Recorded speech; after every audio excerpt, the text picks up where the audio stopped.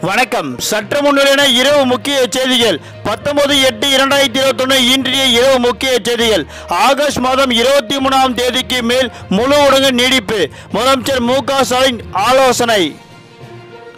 Flash news ஒரு நாள் விடுமுறை. தமிழகத்தில் அரசு அறிவிப்பு. கேரளாவின் பாரம்பரிய திருவிழாக்களின் முக்கியமான ஒன்றான ஓணம் பண்டிகையை முன்னிட்டு ஆகஸ்ட் மாதம் இருபத்தொன்னாம் தேதி விடுமுறை நாட்களாக அறிவிக்கப்பட்டது அரசு ஊழியர்களுக்கு அடுத்த ஆப்பு. சற்று முன் சட்டப்பேரவையில் கைவிரித்த நிதியமைச்சர் பழனிவேல் தியாகராஜன்.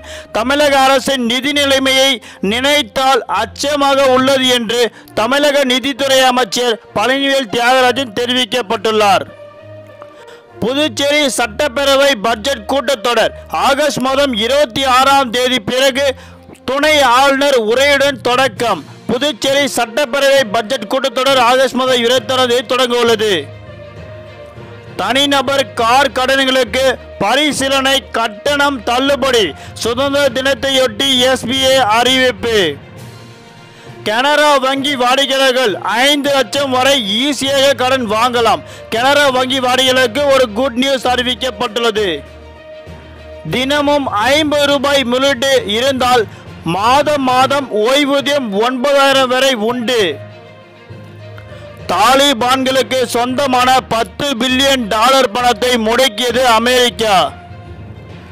தலா இரண்டாயிரம் ரூபாய் வழங்கப்படும்.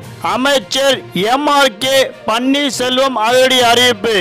அவு பூச்சி தாக்குதலுக்கு உள்ளான மரவள்ளி கிழங்கு பயிருக்கு ஹெக்டர் ஒன்றுக்கு ரூபாய் இரண்டாயிரம் இழப்பீடாக வழங்கப்படும் என்று வேளாண் துறை அமைச்சர் எம்ஆர்கே பன்னீர்செல்வம் தெரிவித்துள்ளார்.